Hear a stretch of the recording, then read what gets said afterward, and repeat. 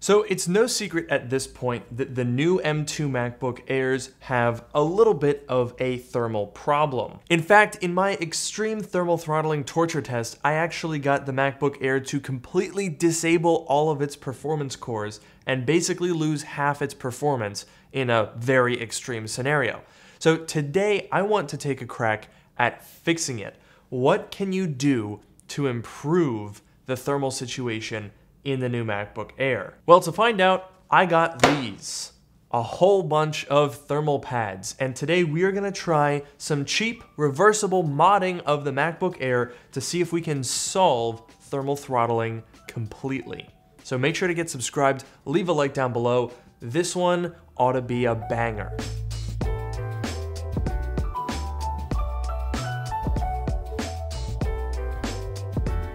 Today's video is sponsored by Squarespace, the all-in-one platform to build a beautiful online presence. Okay, so let's talk about this experiment for a second first. Now, what makes this interesting is we've got two different MacBook Airs. Now, they do have different GPUs, but because we're testing thermal throttling predominantly on the CPU with Cinebench, they perform exactly the same, which means that we can compare them. And that gives us an interesting opportunity. A thing that really stood out to me in a previous video when we actually opened up the MacBook Air was just how big the heatsink is. So why not just like cover all of that in thermal pads? What would happen? So to find out, I bought a couple different types of thermal pads. The ones here in blue are your standard, pretty cheap ones. You can get these for like $7, even for all four of these. They come in a couple of different thicknesses for different applications, and they have a thermal conductivity of 6 watts per meter Kelvin. Essentially, when you're trying to dissipate heat, you want a higher thermal conductivity because that means that it's able to transfer heat through the surface more effectively. And the air gap that exists between the heatsink and the bottom of the case barely transfers any heat. So by using the thermal pad, we are going to be able to transfer heat from the M2 chip to the heatsink through the bottom of the case and thus use that as a heatsink. And so that's why I've got this gray thermal pad. This is a more expensive $15 thermal pad, which has a thermal conductivity of 12.8 watts per meter Kelvin. So we're gonna set up two different tests here. On one of the MacBook Airs, I'm going to completely cover the heatsink with thermal pads. And on the other one, we're just gonna use this one over the area where the M2 is to see if there's any performance difference on what you wanna use. But before we get into opening these machines up, I did run a control test on the base MacBook Air to give us a point of comparison. Well, in the first Cinebench run, I actually got the highest score that I've tested on the MacBook Air, 8405. The temperature of the palm rest was 41 degrees Celsius, and the temperature of the lower case was 44 degrees at its hottest point. During the second back-to-back -back run, our score dropped to 8030, the palm rest temperature increased to 44 while the bottom stayed the same, and our CPU peaked at 108. In run 3, our score decreased again to 7830, and we saw the CPU actually decreased to 94. And then finally, in the fourth run, we had a score of 7618, and the temperature of the palm rest at this point was 44 degrees, with the bottom still at 47, and the CPU this time was 92 degrees. So what we see here is pretty linear, pretty predictable thermal throttling. And now that we have a baseline, a point to compare things to, let's shut these things down and install our thermal pads. I hate to interrupt, but the, the 13-inch MacBook Air looks fine, but I for one am more excited for a 15-inch MacBook Air, and that's why I'm here with today's video sponsor, Squarespace. Squarespace has all the tools I need to petition the public that a 15-inch MacBook is the future, including adding in a custom storefront to sell some promotional merchandise to support the cause. Plus, once I have a loyal gang of 15-inch MacBook Air enjoyers, I can set up member areas just for my most dedicated fans with gated content like videos, newsletters, and even courses. Plus, I can make sure that my website is well targeted to find all 15 inch MacBook fans thanks to built in SEO tools. Thanks to Squarespace and its powerful tools, we are getting one step closer every day to convincing the public that a 15 inch MacBook is what we need. So, check out Squarespace by heading to the link in the description below. And now let's get back to the video. So if you want to follow along at home, the opening procedure for the MacBook Air is pretty simple. We've got four screws in each corner, and then you're gonna wanna take a little suction cup and pull up in the middle so that you can insert a guitar pick or a spudger or something into this front edge like that. Move from side to side to release the two clips in the front. Then we're gonna move around the side, clip over there, move around the other side, clip over there. Those are the four clips. And then what we're gonna wanna do is lift up the bottom and pull down. And do be warned, it's a little bit tough. So now that we have the bottom case off, we can get a look at the very interesting heatsink.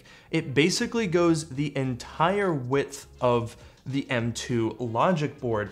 And Apple does use this thermal insulating tape over here, probably to prevent heat from transferring to the bottom case. So Theoretically, we could get some improvement in thermal conductivity by peeling that off, but I don't wanna make any permanent modifications to this machine. If this is an $8 fix, I would like for it to be reversible if you wanna sell it or if you need warranty repairs or anything like that. So we're just gonna peel the backing off of this thermal pad and I'm just going to stick it right over here, right on top of the M2 chip. So there we go, pretty simple. Um, let's go ahead and put the back cover on this machine and we'll move on to the Midnight MacBook Air. All right, so now we've got the Midnight MacBook Air opened up and it's time to take a different approach. Now, one thing I did notice is on the other MacBook, I used a 1.5 millimeter thermal pad and it's a bit thick. It makes it pretty hard to get the bottom closed. So this four pack that I got comes with 0.5, 1, 1.5 and 2 millimeters. What I wanna use is predominantly the 0.5 and the 1. So let's go ahead and get some scissors and cut some pads to fit the whole entire heatsink. Now, when I say whole entire heatsink, I do want to make a little caveat in that, and that is this ribbon cable. I don't think we should put a thermal pad over this because then we're going to transfer heat from our system into this ribbon cable.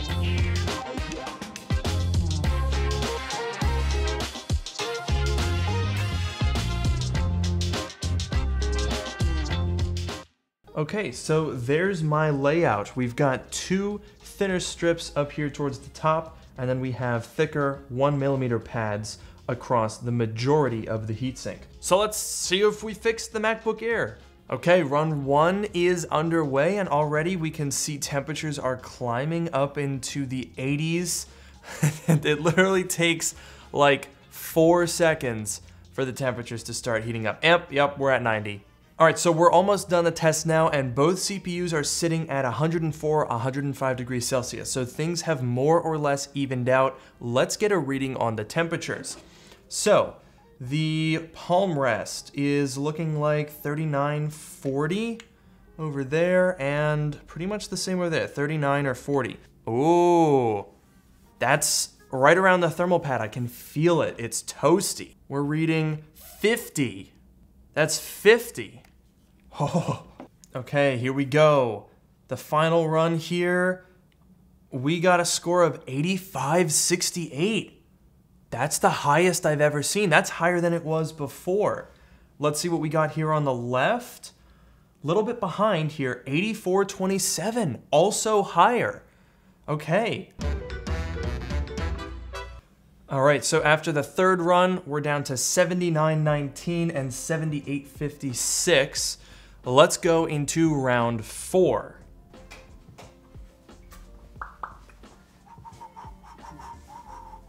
It's run four, everyone.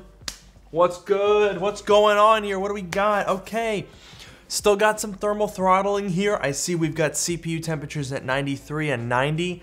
Uh, let's go ahead and read some temps. Okay. Still 41, 44 there. Okay, not bad. Not bad, 42. So no change in palm rest temperature. Let's see underneath. Okay, ooh, ooh, ooh. That's toasty. That is very toasty. 51. And here on our surface area test, definitely not as warm. This, honestly, 46, 47, that's not much hotter than it actually got in the control test. All right, our round four scores are about to come in. Let's see what we get. 78.43. And then over here, 77.94.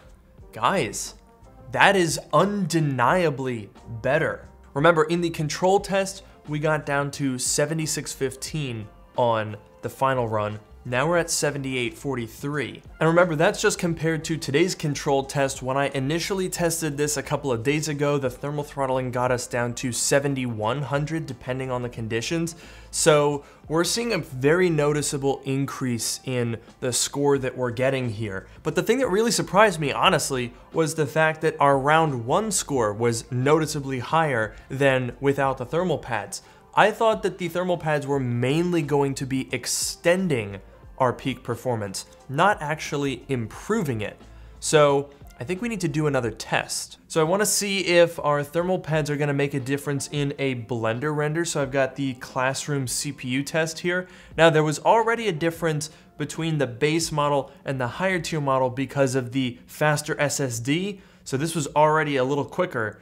But now I wanna see if having uh, better heat transfer ability is gonna give us more peak performance on either or maybe both of these. So already just a couple minutes into the test, we're at 101 degrees on the Midnight MacBook Air, and we just got to 92 on the base model. So it looks like the thicker thermal pad with the higher thermal conductivity does actually make a difference in how long it takes to saturate the heatsink. Some of the heat, instead of going into the heatsink, is spreading into our bottom case. So let's see what that does for the performance. It took initially 10 minutes and 49 seconds for the base model MacBook Pro, and it took 9 minutes and 53 seconds for the higher tier one. Now that's weird.